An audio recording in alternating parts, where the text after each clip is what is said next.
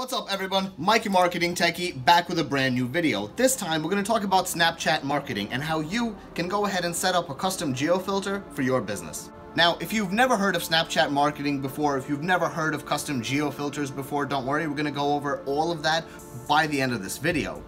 And frankly, I don't even blame you. Snapchat marketing is a fairly new concept. In fact, a study just came out that proved that only 7% of marketers actually use Snapchat in their marketing campaigns during the first quarter of 2017. But Snapchat has a huge audience, almost 60 million registered users within the United States alone. And whether or not you're a restaurant or a lounge or a medical office, I promise you that if you just go out there and spend the next day or two watching your customers, you're gonna notice a lot of them on Snapchat. Taking a video of their food, taking a snap of themselves at work or something along those lines.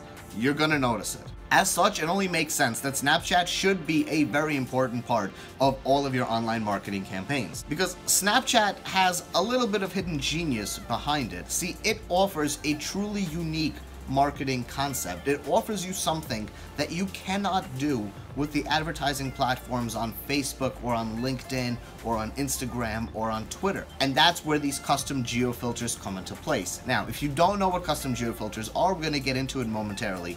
If you've tried custom geo filters in the past and you found out that they were, well, quite a pain in the a lot of back and forth, getting the picture to be just right, editing it within Photoshop, making sure that everything is perfect, sending it back to the Snapchat team. It was annoying. I don't blame you if you hated it then, but you're in luck because all of that has changed. See, Snapchat just released a brand new update to their Snapchat app that lets you set up custom geofilters right from within the app. Design them, set them up, pick the area, everything.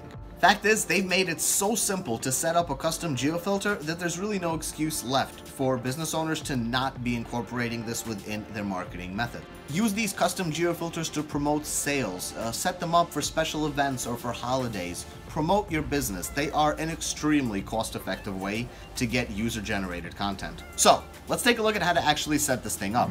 Pop open your Snapchat app, select On-Demand Geofilters from the Settings menu, and then you'll be prompted to select a theme that you can customize, and there is a lot of different options here, as you can see.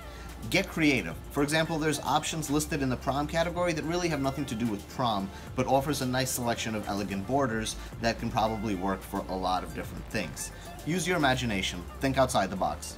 Also, keep in mind that Snapchat will be running seasonal categories on here, so the July 4th category and the summer category that's there right now may not be there when you go and look at it at a later date choose a theme, and then you can customize this theme by adding text on top of it, adding emojis, bitmoji characters, stickers, custom stickers that you've created, selecting different colors for your font, and so forth.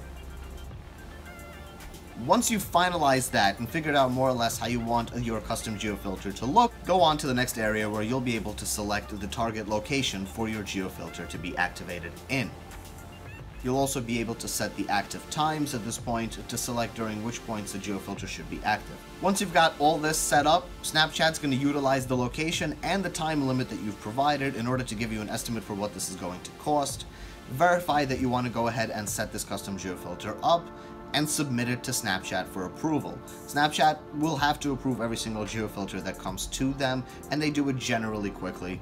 Once your custom geofilter has been approved, you'll get a message back requesting payment. You can finalize that directly with the Snapchat team then, and your custom geofilter is well on its way. Now, there is a lot more that you could be doing with Snapchat marketing than just setting up custom geofilters. However, that's probably going to require a separate video that I will get to at a later point, where I can really touch base on different ideas and methods and things that you could be utilizing and how you could be utilizing Snapchat more in your day-to-day -day marketing methods. But setting up these custom geofilters is going to give you a great base to get your business out there and get your business known on Snapchat. Plus, once you start setting up these custom geofilters and you really get good at it and you really get creative and you start to make some filters that your general clientele base really enjoys and likes to use, they're gonna look for those over and over and over again. Maybe your business sets up really cool and creative seasonal geofilters and it makes your clientele base want to come back and make sure that they visit at least once per season so that they can go ahead and use that custom geofilter. As always guys, thank you so much for watching. Make sure to like the video and subscribe to the channel if you haven't already. Any questions or comments that you have, feel free to leave them down in the comment section below and I'll be happy to answer them. We'll see you guys soon.